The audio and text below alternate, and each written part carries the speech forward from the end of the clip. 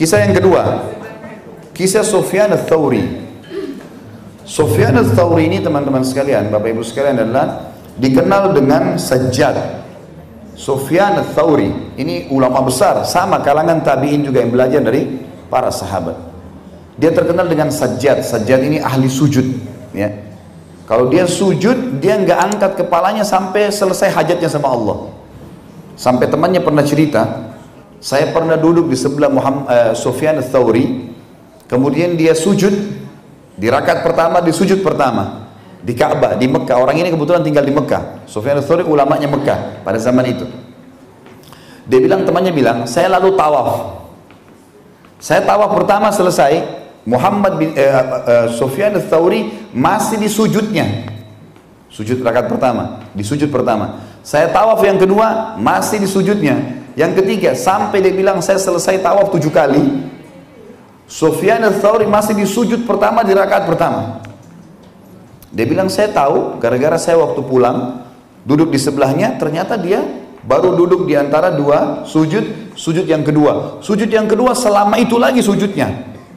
Di rakaat yang kedua, sujud yang pertama di rakaat kedua dan sujud yang kedua sama-sama lamanya. Jadi satu sholat ini bisa berjam-jam sujud dengan Allah. Terkenal dengan orang sajjad. Sampai dahinya hitam sekali orang ini. Terkenal sekali dengan ibadahnya. Ringkas cerita, Sufyan al-Thawri Bapak Ibu sekalian terkenal dengan kesolehannya dan ilmu agama yang luas. Maka waktu itu khalifah ngirim surat kepada dia ke Mekah minta supaya dia menjadi hakim. Hakim. Ini hakim pada saat itu Bapak Ibu sekalian, dia jabatannya tinggi sekali. Bahkan khalifah pun bisa dihakimi. Kalau kita sekarang kan dibeda ya, ada mahkamah konstitusi untuk pemerintah, ada mahkamah umum untuk masyarakat gitu kan. Kalau pihak jajaran pemerintahan maka harus di konstitusi gitu kan. Baik, sekarang enggak. Ini hakim zaman dulu kalau ada waktu ada khilafah Islamiyah itu, maka yang terjadi adalah satu hakim dia penentu semua, termasuk khalifah kalau salah dia bisa hakimi gajinya besar gitu kan. Dikasih fasilitas rumah kereta kencana zaman dulu kayak kita mobil mewah sekarang.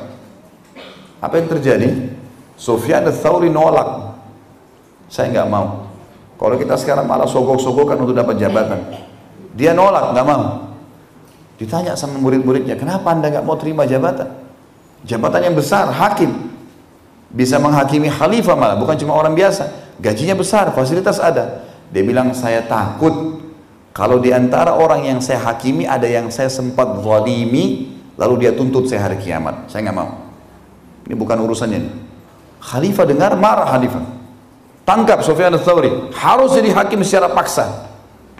Sufyan al-Thawri Bapak Ibu sekalian disebutkan dalam kisah ini meninggalkan hartanya, pamit sama istri anaknya saya harus pergi. Tinggalkan Mekah, jalan kaki ke Yaman.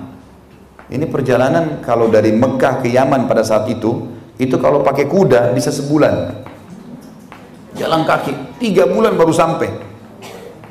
Tiba di itu dia mampir istirahat sholat dia ker, apa ada bekalnya dimakan sampai tiba di Yaman kehabisan bekal sudah. Nggak ada lagi bekal dalam perjalanan. Dia lihat ada satu kebun kurma besar. Lalu dia bilang begini eh, kepada pemilik kebunnya saya ini musafir dan saya butuh kerjaan. Bisa nggak saya jadi pegawai di kebun kurma ini? Ini ulama besar minta jadi pegawai di kebun kurma. Pemilik kebun kurma tidak tahu siapa dia. Karena zaman dulu kan tidak ada foto. Orang nggak tahu mukanya gitu. Orang cuma kenang namanya saja. Orang ini bilang baiklah, siapa namamu? Dia pertanyaan gini, siapa kamu? Tanyanya gitu, bukan siapa namamu ya, siapa kamu? Dia bilang saya Abdullah. Abdullah mesti hamba Allah ya. Dia tidak niat bohong karena pertanyaannya siapa kamu? Bukan siapa namamu gitu. Dan dia sekarang lagi dikejar oleh khalifah. Kalau dia bilang saya Sufyan mana jadi masalah buat dia. Dia cuma bilang saya salah satu dari hamba-hamba Allah gitu. Orang ini pemilik kebun tangkap namanya Abdullah. Dipanggil Abdullah. Baik Abdullah silakan masuk kerja. Kerja di kebun orang itu selama tiga bulan. Dalam beberapa kisah dikatakan sebulan. Yang jelas dia kerja di situ. Setelah tiga bulan Penjaga kebun, pemilik kebun sempat panggil, mengatakan, Hai Abdullah ke sinilah. Datang Sofyan al-Thawri ini. Datang, dia bekerja sebagai pegawai, terima gaji gitu. Dari tahu siapa dia ini. Kemudian kata pemilik kebun, kau kan ngaku dari Hijaz. Hijaz itu Mekah sama Madinah. Namanya Hijaz kalau digabung. Negeri Hijaz atau wilayah Hijaz namanya Mekah sama Madinah. Ya. Maka dikatakan kau kan ngaku dari Hijaz. Saya mau tanya, apa perbedaan antara kurma kami di Yaman dengan kurma kalian di Hijaz? Rasanya kah, bentuknya kah? Kaget nih pemilik kebun atau Sufyan Thawri jawab, saya tidak tahu. Karena saya tidak pernah tahu rasanya kurma kalian. Kata pemilik kebun, Hai Abdullah, tiga bulan kau kerja di kebun saya. Turunkan kurma, sortir, kau tidak pernah makan satu butir pun. Kata Sofyan, ya, demi Allah saya tidak pernah coba satu butir pun karena anda belum pernah mengizinkannya. Tiga bulan jadi pegawai di situ, nggak pernah makan satu butir kurma. Coba Bapak Ibu kita kalau kerja di tokonya orang toko makanan. Incipi ini, coba ini, macam-macam. Bawa pulang ke rumah. Ini yang ketawa-ketawa tahu diri ya. Sofyan Thawri tiga bulan turunin kurma, sortir, nggak pernah makan satu butir pun. Karena tidak pernah diizinkan. Pemilik kebunnya bilang, siapa kamu ini Abdullah? Apa kau mau contohi kezuhudannya dan waraknya Sofyan Thawri? Dia nggak tahu kalau ini orangnya. Memang Sofyan Thawri terkenal dengan warak. Warak itu begini Bapak Ibu sekalian. Kemurnian dan ketulusan berhubungan sama Allah. Jangankan yang haram, syubhat saja nggak mau dimakan. Sama tadi kisah Ibnu Sirin. Itu namanya warak. Warak itu orang betul-betul. Ada orang nggak ada orang dia tahu hubungan sama Allah. Haram haram halal halal. Nggak berani melanggar. Itu namanya warak, kesucian hubungan dengan Sang Pencipta. Kata orang ini, apa kau mau contohi waraknya Sofyan al-Thawri? Ini supaya tadi ketawa saya senyum. Lalu kemudian dia kembali kerja. Orang ini keluar ke kebun temannya di sebelah. Waktu itu kebetulan Khalifah sudah kasih iklan. Siapa yang menangkap Sofyan al-Thawri hidup atau mati dapat satu petik emas. Harus tangkap supaya jadi hakim. Ini yang pemilik kebun pergi ke kebun sebelah, nanya sama dia ngobrol sama temannya, dia bilang ada pegawai saya itu unik, dia bilang. Temannya tanya kenapa? Masa dia tiga bulan kerja di tempat saya, tidak pernah makan satu butir kurma pun. Lalu saya bilang, apa kau mau contohi waraknya Sufyan al-Thawri? Dia senyum saja lalu dia pergi. Temannya ini rupanya jeli, pemilik kebun sebelah. Dia bilang, sebentar, sebutkan ciri-cirinya orang itu.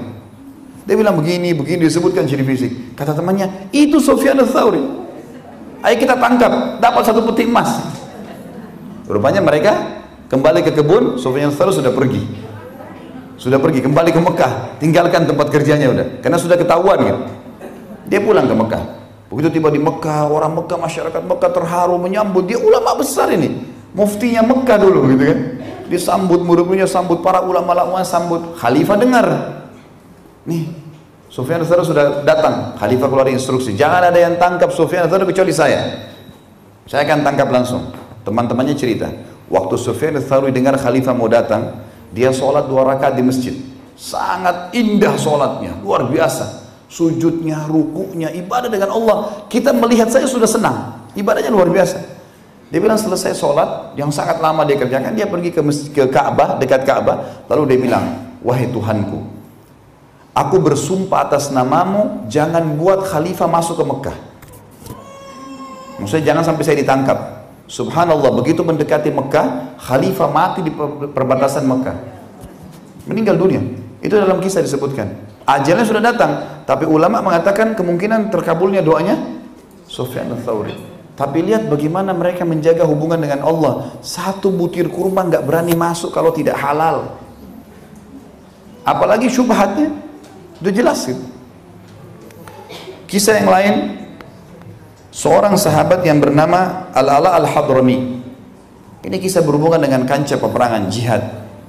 Al Al-Hadrami ini sahabat Nabi yang mulia radhiyallahu anhu. Beliau pernah diutus oleh baginda Nabi wasallam diutus berperang.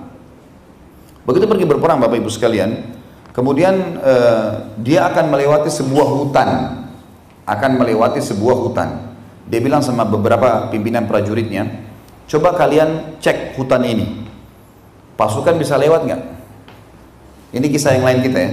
Lalu kemudian prajurit-prajuritnya datang mengelilingi hutan itu, kembali lagi mengatakan kayaknya nggak bisa. Hutan ini terlalu lebat. Sekarang sudah menjelang malam, sudah sore menjelang maghrib, dan di dalam ini banyak binatang buas. Ini hutan masih liar nih. Kalau anda memaksakan pasukan anda masuk di hutan ini, kemungkinan tidak ada satupun yang selamat keluar. Apa kata Alal Hadra ini? Perhatikan iman seseorang kepada Allah penting ini. Dia mengatakan apa? Kalau saya takbir nanti, ikuti saya. Lalu dia mendekatkan kudanya ke dekat hutan itu. Jadi ada lapangan luas kayak padang pasir, hutan di depannya kelihatan pohon-pohon. Lalu dia mengatakan, wahai semua makhluk Allah yang ada di hutan ini. Dia bilang gitu.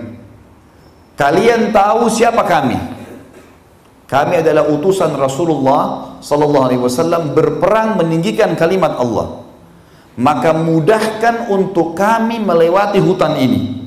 Gak ada orang yang berpikir nih, apa yang terjadi Bapak Ibu sekalian dalam kisah ini dikatakan tiba-tiba hewan-hewan di dalam hutan itu semuanya bersusun satu sama yang lain bersebelahan membentuk jalan untuk keluar. Sampai-sampai serigala dengan kelinci bersebelahan yang biasa menjadi mangsanya bersebelahan. Dan pasukan mujahidin sempat keluar tanpa satupun jadi korban. Lihat bagaimana keyakinannya dengan Allah subhanahu wa ta'ala. Ini penting sekali. Penting. Sampai hal yang kecil pun harus kita hubungkan dengan Allah. Allah kalau Allah tidak izinkan Bapak Ibu sekalian demi Allah kita tidak bisa nelan seteguk air. Nggak bisa kita kedipkan mata kita, nggak bisa kita gerakkan jari kita. Ini kekuatan iman kepada Allah harus kita tahu. Dan kalau kita sudah tahu itu akan jadi indah karena semua jadi mudah. Sebesar apa pun target duniawi yang hilang tidak penting buat kita kalau itu haram. Sekecil apa pun peluang meraih ridhonya Allah